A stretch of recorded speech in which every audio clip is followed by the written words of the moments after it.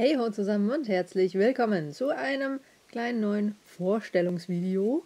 Ich habe mir gestern auf der Harry Potter Convention in Solingen, beziehungsweise auf dem MFC, dem mittelalterlichen Fantasy Convention Special zu Harry Potter, etwas gegönnt.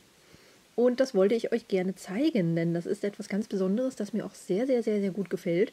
Und ähm, ja, hat natürlich, wie sollte es anders sein, mit Harry Potter zu tun. Und da ich das jetzt gerade eben erst ausgepackt habe, beziehungsweise das Plastik hier um die Hülle entfernt habe, würde ich euch das gerne zeigen. Und äh, ja, da, da, da, da. Da haben wir es. Das ist ein kleines, äh, ich nenne es mal Briefset oder sowas ähnliches. Ähm, ich glaube, ich kann einmal ganz kurz hier die Rückseite zeigen, was genau da eigentlich drin sein sollte. Es ist leider Englisch. Ähm, es war auch von einem englischen äh, Shop, an so einem englischen Stand, es ist verkauft worden. Und es ist ein Deluxe Stationery Set. Das beinhaltet einen Briefbeschwerer, Briefpapier und Briefumschläge, ein Wachssiegel-Set und dazu nochmal ein Büchlein.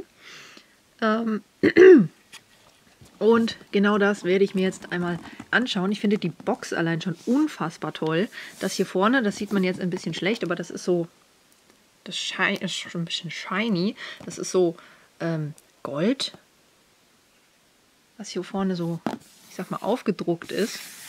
Und ich finde es einfach unfassbar schön, weil das einfach das Hogwarts-Wappen ist. Da steht noch Harry Potter drauf. Und hier sind natürlich die vier Tiere der Häuser. Ist einfach unfassbar schön. Jetzt machen wir das Ganze einfach mal auf, denn es ist hier so. Tata! Hier haben wir auch nochmal das Hogwarts-Wappen. Und hier ist jetzt eine. Verdammt, äh, kriege ich das hin mit einer Hand? Ähm. Ja, Mann! Oh mein Gott, ich bin so gut.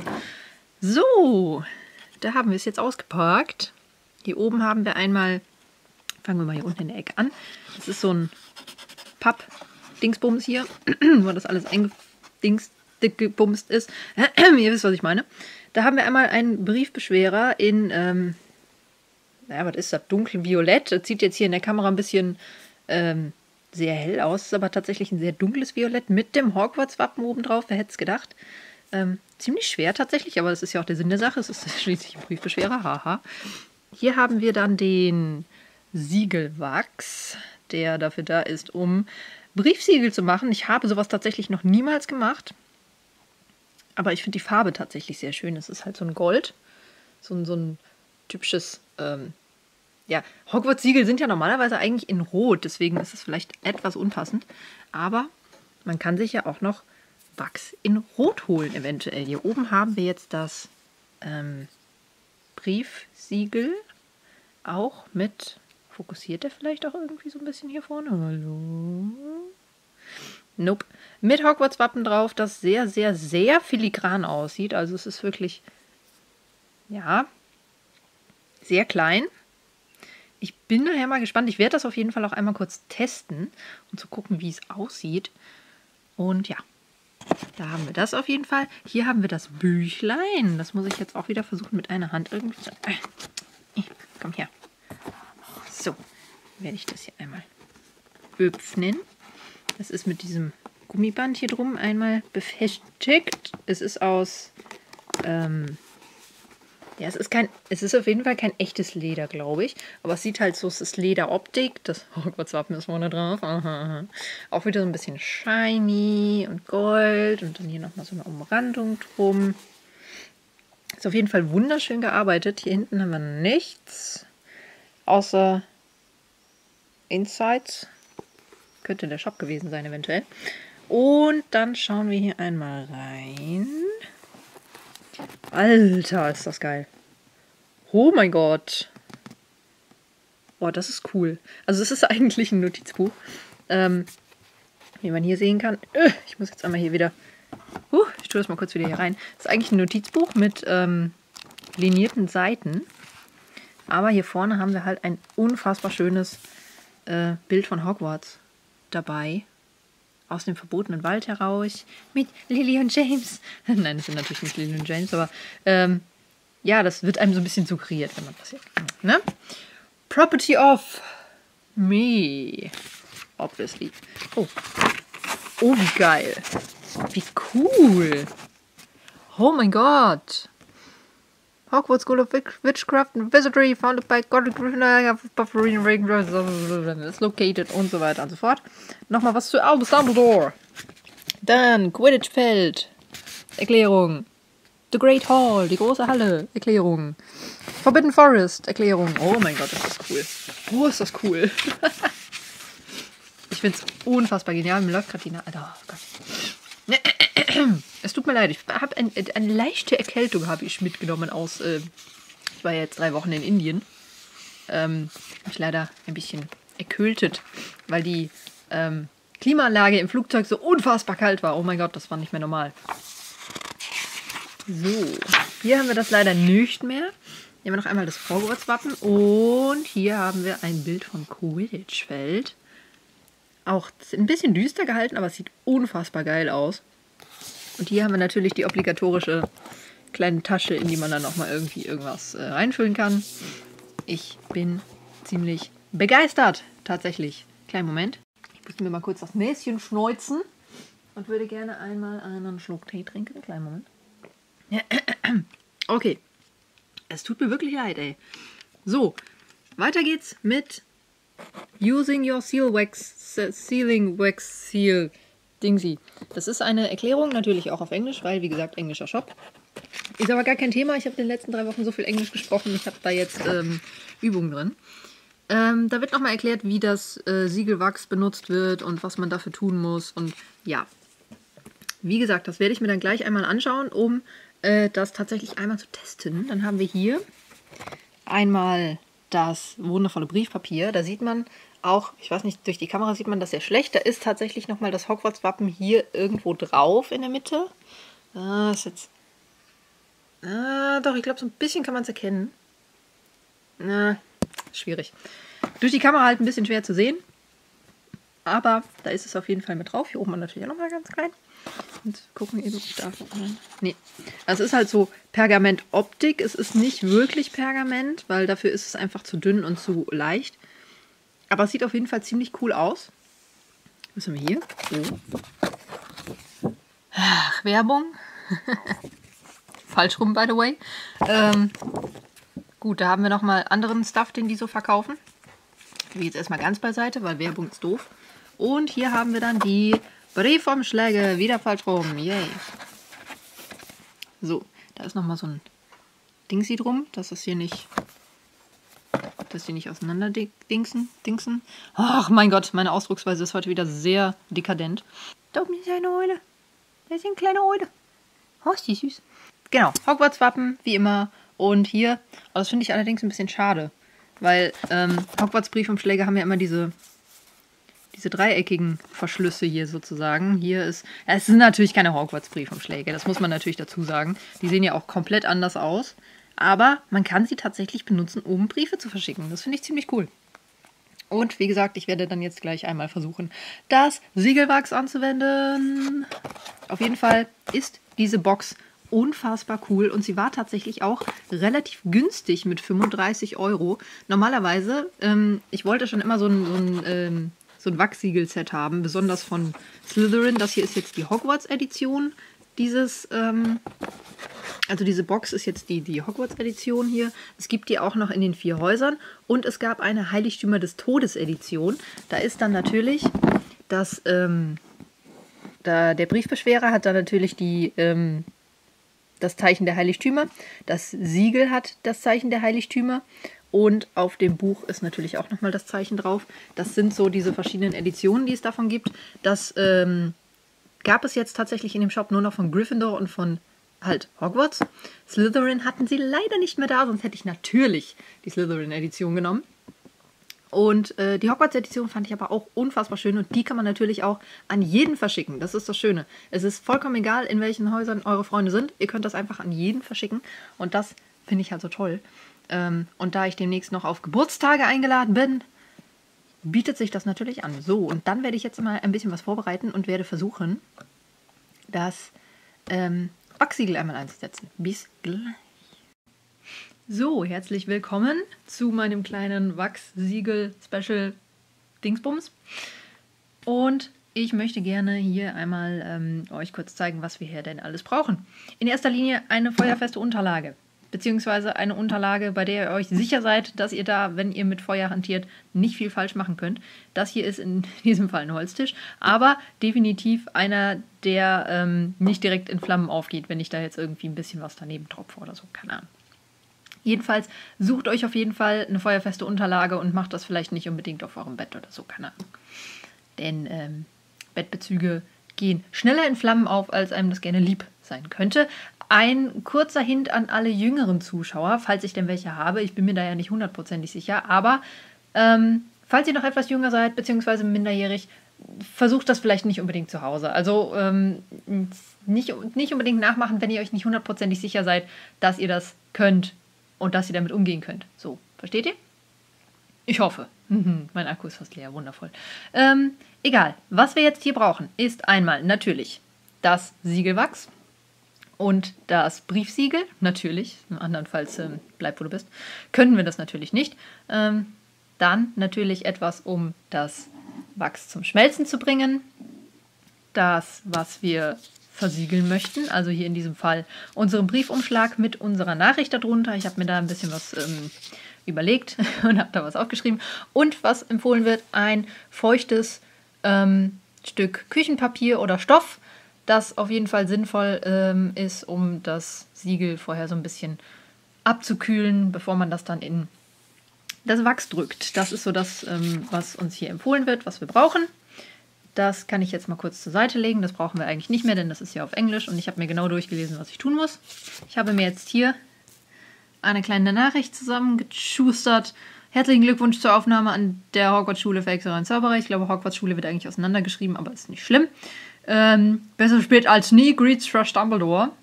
Ähm, Trademark in diesem Fall an Cold Mirror, eine unglaublich geniale YouTuberin, ähm, von der ich das in diesem Fall geklaut habe. Ich habe keinerlei Rechte an diesem Namen. Der gehört nämlich ihr mehr oder weniger. Das ist von ihr erfunden worden und dementsprechend, ähm, ja, werde ich das hier jetzt einmal versuchen mit einer Hand zu knicken, weil ich ähm, absoluter Pro in solchen Sachen bin. oh mein Gott. Äh, ich muss halt mit der zweiten Hand die Kamera halten. Das ist ein bisschen tricky. Oh, jetzt wird es erst recht tricky, indem ich das nämlich hier rein dingsen muss. Wartet ganz kurz. Ich muss. Ähm, Brief ist drin. Mal gucken, an wen ich das jetzt verschicke. man kann hier, da ist so ein Kleberand dran. Das heißt, man kann. Ähm, ich habe jetzt leider, das ist ein. Ich habe relativ schlechte Lichtverhältnisse. Ich bin halt ähm, nur so eine, so eine kleinere YouTuberin. Ich habe nicht wie meine ganzen YouTuber-Kollegen hier so.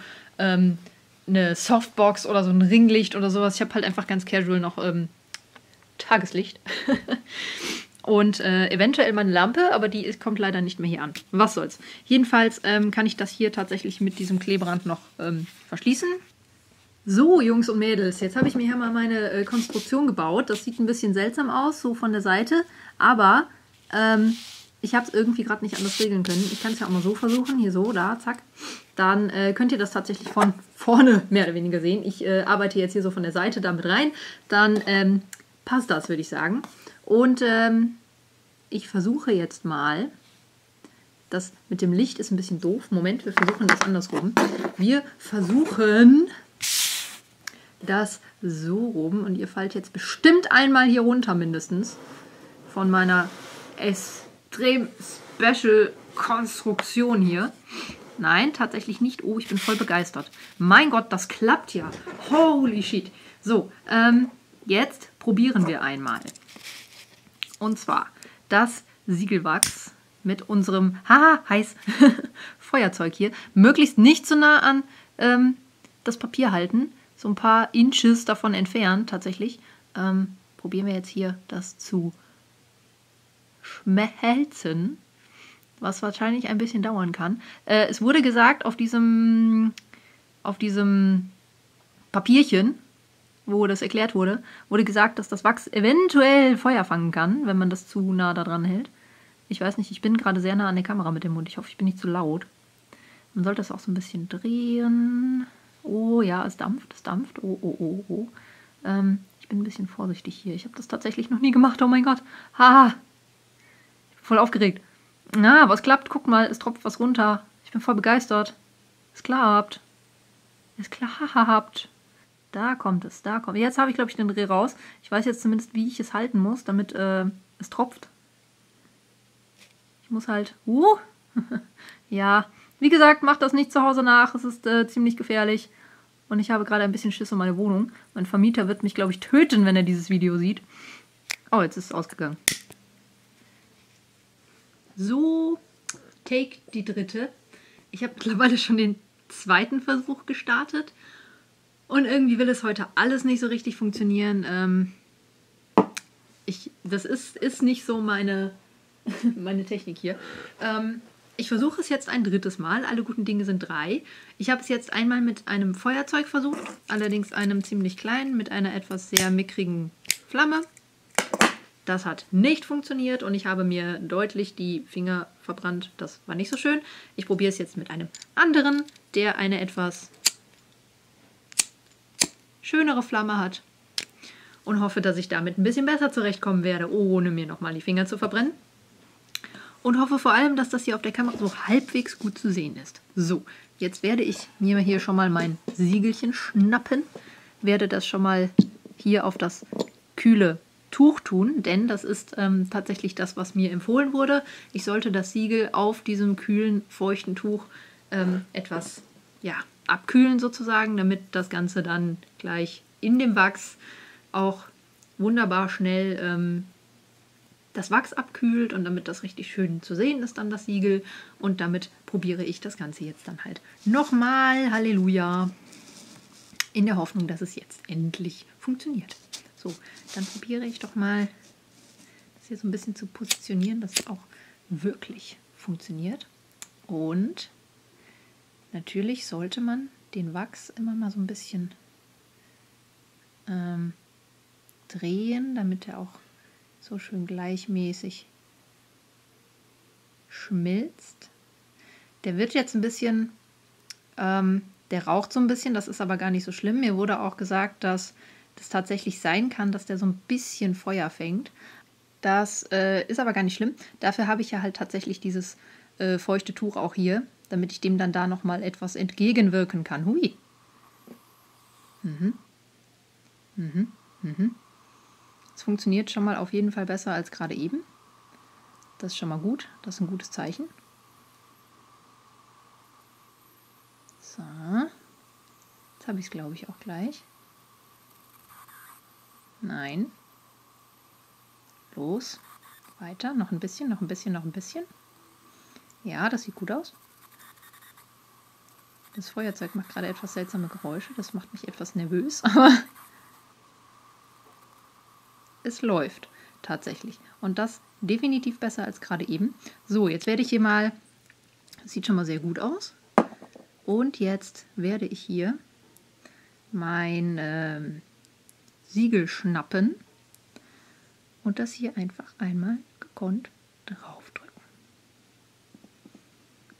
Es hat tatsächlich funktioniert. Oh mein Gott, man soll das jetzt tatsächlich so sieben bis zehn Sekunden noch da drauf stehen lassen und dann das Ganze hier ablösen. Ich habe jetzt nicht geguckt, in welche Ausrichtung das ist. Ich habe jetzt halt nicht darauf geachtet, dass das Hogwarts-Zeichen dann halt auch wirklich gerade ist, was man vielleicht hätte tun sollen. Aber ich war jetzt so ein bisschen dezent panisch und habe gedacht, oh mein Gott, das muss jetzt sofort da drauf, weil sonst ist der Wachs wieder hart geworden. Das Problem hatte ich ja beim ersten Versuch. Beim zweiten Versuch war die Flamme zu mickrig und jetzt beim dritten hat es hoffentlich funktioniert. Aha. Oh, es war sogar fast gerade. Ja, es sieht tatsächlich sehr gut aus. Das Problem, was ich jetzt nur habe, ist, dass meine Kamera nicht richtig fokussiert. Aber wie ihr sehen könnt, es ist tatsächlich das Hogwarts-Wappen. Oh mein Gott, das hat funktioniert. Ich bin voll begeistert. Und es ist tatsächlich auch so geraten, dass es den Brief versiegelt hat. Es hätte tatsächlich etwas mehr sein können, sodass es hier oben vielleicht auch noch ein bisschen mehr äh, Wachs hätte. Und das ist ein sehr kleines Siegel, aber ich bin auch mit der Technik halt noch nicht so vertraut. Ich muss zugeben, ich muss da ähm, vielleicht noch mal ein bisschen üben. Aber ich bin äh, begeistert. Es hat tatsächlich funktioniert. Es freut mich. Es freut mich sehr. Es ist ein kleines Siegelchen. Oh mein Gott, oh, es ist so süß. Mm. Aber es ist halt auch nicht der beste Siegelwachs wahrscheinlich. Es war halt wirklich relativ, ein relativ günstiges Paket und ich muss ja zugeben, ähm, ich würde mir sehr gerne auch noch äh, den Slytherin Siegelwachs holen mit dem Slytherin Siegel. So, und diesen Brief, den kann ich jetzt aber tatsächlich. Ähm, ich mache hier mal keine Schleichwerbung für Bücher äh, nebenbei. ich habe das hier auf meine Bücher gelegt, damit ich hier so ein bisschen. Äh, damit das hier so ein bisschen funktioniert. So, und jetzt muss ich diesen Brief natürlich auch noch ausliefern lassen. Und das macht tatsächlich mein Speedy. Speedy ist äh, meine Posteule, ähm, ist nicht so ganz standfest, aber äh, er, er trägt immer meine Post aus. Der Kleine hier. Ähm, ist sehr zuverlässig, muss ich sagen. Ähm, und er hat auch noch einen kleinen Bruder. Das ist der hier. Der ist allerdings etwas gehandicapt, weil keine Flügel und keine Füße und deswegen ist das mit dem Postaustragen ein bisschen schwierig. Der bleibt halt hier zu Hause und Schild und Speedy trägt dafür die Post aus. Und der wird jetzt meinen Brief nach Hogwarts bringen. Beziehungsweise meine Antwort von äh, zu dem Hogwarts-Brief, den ich ja von Fresh Dumbledore bekommen habe, wird er jetzt dann ähm, dahin bringen. So, mach du mal. Äh. Er bleibt nicht stehen. Er ist müde. Er muss sich erst noch ausruhen und danach schicke ich ihn los. Oh mein Gott, er fällt um. ja, dann würde ich sagen, ähm, war es das erstmal für heute. Ich bedanke mich fürs Zuschauen. Ich hoffe, es hat euch einigermaßen gefallen, ähm, wie ich hier gefailt habe ohne Ende. Aber ich mag diese Box tatsächlich sehr, sehr, sehr gerne. Ich kann ja nochmal kurz rübergehen. Moment. Ah, so, da bin ich wieder hier bei meiner wundervollen Box. Ähm, ich bedanke mich sehr herzlich fürs Zuschauen. Ich hoffe, es hat euch einigermaßen gefallen. Mir auf jeden Fall gefällt diese Box wahnsinnig gut und ähm, ich bin auch im Überlegen, was ich mit dem Büchlein mache. Dadurch, dass es das Hogwarts-Wappen trägt, kann ich es natürlich nicht zum College of Wizardry mitnehmen, leider. Aber ich ähm, werde damit bestimmt irgendwas anderes Tolles anfangen können. Zumal es einfach ein unfassbar schönes Notizbuch ist. Weil es auch einfach hier diese wundervollen Bilder drin hat. Oh mein Gott, ich liebe diese Bilder. Sie sind so wundervoll. Oh, es ist so geil. Ja, dann ähm, freut es mich, dass ihr dabei wart. Schaut auch gern beim nächsten Mal wieder ein. Ähm, es ist ja jetzt wirklich schon eine ganze Weile wieder her gewesen, dass ich Videos gemacht habe. Das hier ist so ein kleiner Lückenfüller gewesen. Es kommt auf jeden Fall jetzt wieder ein bisschen mehr. Dann würde ich sagen, sehen wir uns beim nächsten Mal. Bis dahin. Ciao.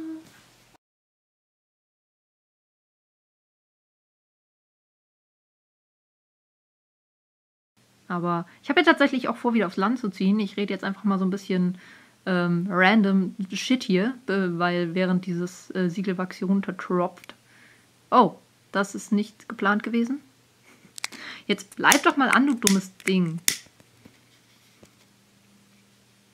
So, jetzt tropfe. Los. Tropf, du Bitch. Entschuldigung. Ich bin sowas von mir selber gar nicht gewohnt. So, jetzt muss ich natürlich hier so ein bisschen auch an den Rand gehen, damit... Äh Nein, nicht wieder ausgehen. Nicht wieder... Du dummes Ding. Ich brauche ein neues. Aua, heiß.